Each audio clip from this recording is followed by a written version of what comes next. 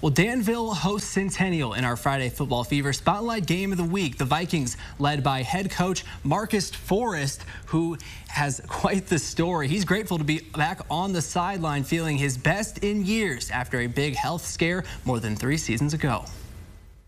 Where I'm at right now is something that they see kind of in the movies because they really don't expect most heart transplant recipients to kind of be even where close to where they were. It's been a long road to recovery for Danville head football coach Marcus Forrest, more than three years removed from congestive heart failure and a subsequent heart transplant. The former Vanderbilt football player says he's 85 to 90 percent back to where he was pre-diagnosis, regaining about 70 pounds of weight since getting sick, a plan he's always had in mind. For me, it was expectation, but I think for a lot of others, they were like, man, I hope he does. So I'm really happy with where I'm at.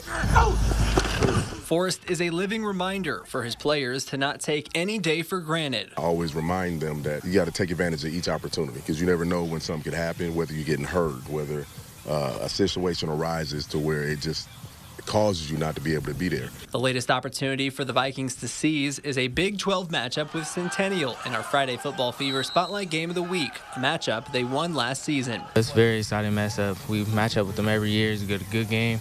They're a good team, but I feel like if we prepare, we should be able to beat them. The 1 and 2 Vikings have battled ineligibility at times this season, feeling like their roster is back to full strength. Very excited because now we can really um, show what we have as a team you know, on offense and defense. We got a lot of learners. We got a lot of young people who are being, becoming really good.